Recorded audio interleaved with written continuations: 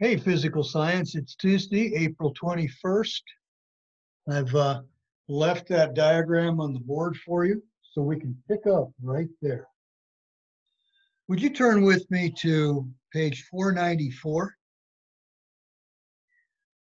And it is in the middle, eh, the last paragraph on page 494, first sentence. The unit of measurement used to quantify an atom's mass is the atomic mass unit called an AMU. Sometimes AMU is abbreviated U. Okay, so here's what I'm going to say. Where is almost all of the mass located in the atom? I finished up yesterday with that. It's in the nucleus. This is not to scale by any stretch of the imagination.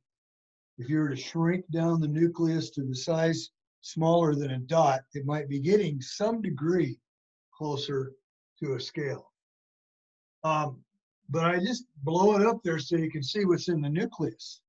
There's particles in there called protons and neutrons. Now, the mass of each one of those particles is listed on page 494. Would you like to say that the mass of the carbon atom would be the mass of the nucleus? Look on 494 at table three at the bottom. Would you like to say that it is a mass of three times, no, six times, 1.6 times 726 times 10 to the negative 24 plus, let's see, how many neutrons? Eight? Eight times 1.6749 times 10 to the negative 24 grams, plus a negligible amount for the electrons. Would you like to see those kinds of numbers? Or would you rather just say the mass of the carbon 14 atom is 14? That's the mass number. 14 what, you say? It's 14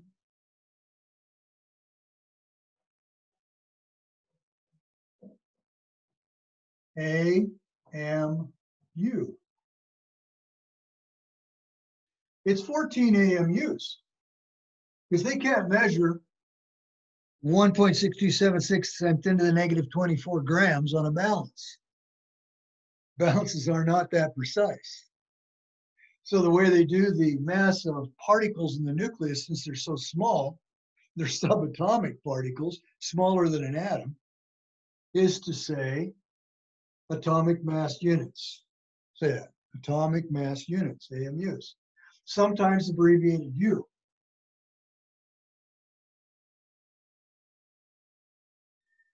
So it weighs 14U or 14 AMUs. And would you rather say 14 or would you rather say uh, 6 times 1.67? You get the point. Yeah, it's just an abbreviated way of saying masses when you're talking about subatomic nuclei. Okay, now, uh, is the mass of the proton and the mass of the neutron about the same on that table? Yeah, how did they measure that? Well, that's another story.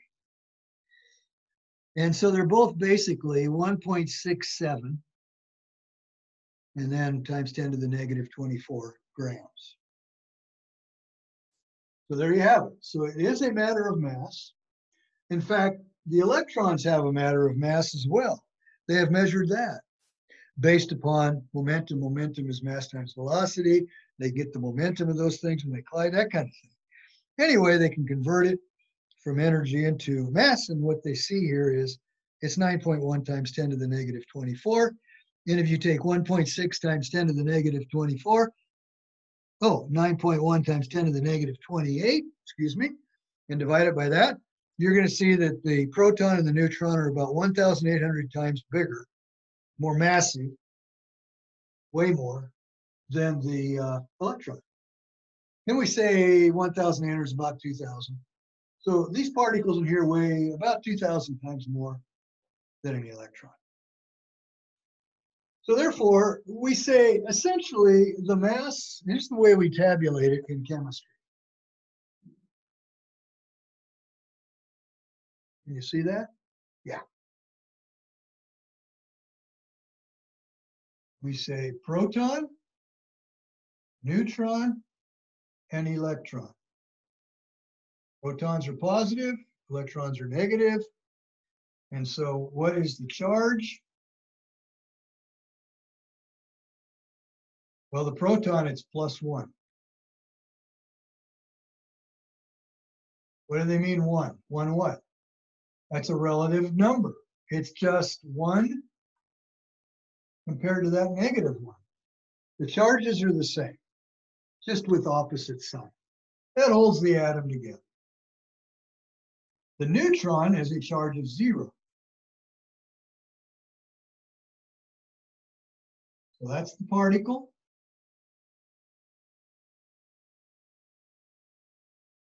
This is the charge. And then we've got the mass. And we say that the mass of a proton is what? One. One what? One AMU. You know what I call an AMU? I call it a chunky. Why do I call it a chunky? And I think I'm the only one in the world that calls it a chunky. Okay? I call it a chunky just because I want to. It's one of those particles in the nucleus. The neutron has a mass of one. You want to call it 1.6749 times 10 to the negative 24, or do you want grams, or do you want to just say it has a mass of one? One AMU. Both of them. They're approximately the same.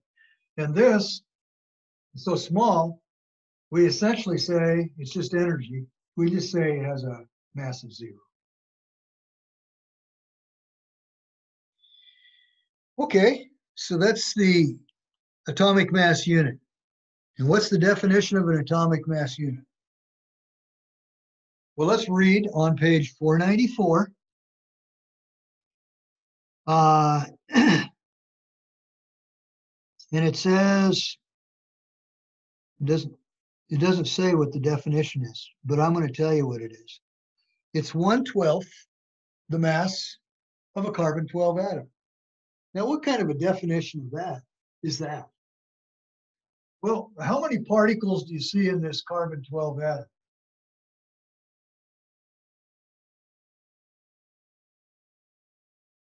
You have six protons, therefore, because it's carbon, and you have six neutrons because it has to add up to 12. Mass numbers are always whole numbers because they're particles. Okay, so what is the definition of an AMU? It is one twelfth the mass of a carbon 12 atom. What is one twelfth of 12? One. So what could we also call an AMU?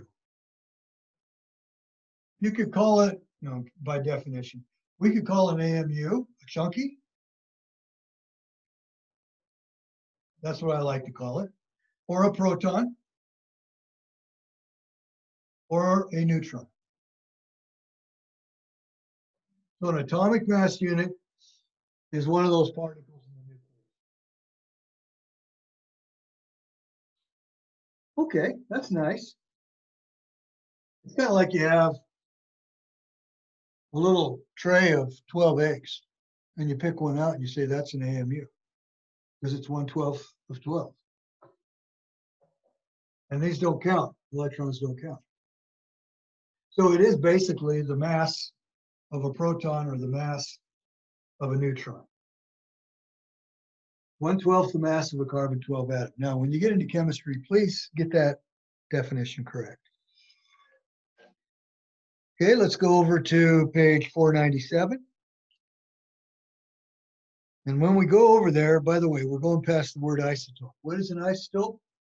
It's atoms of the same element, in this case carbon, that have different numbers of neutrons. What's the only difference between carbon 12 carbon thirteen and carbon fourteen? The answer is the number of neutrons. You see, the number of protons is the same. The number of electrons is the same. The difference is how fat it is. Got a couple extra proton, uh, neutrons. And as a result, carbon 14 is called radioactive.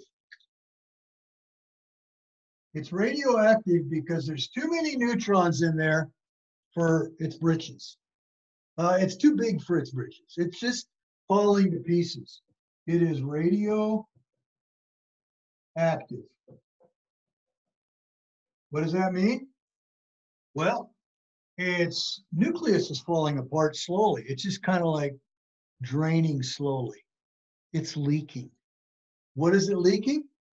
It's leaking packages, packages of two protons and two neutrons from the nucleus, and those are called alpha particles.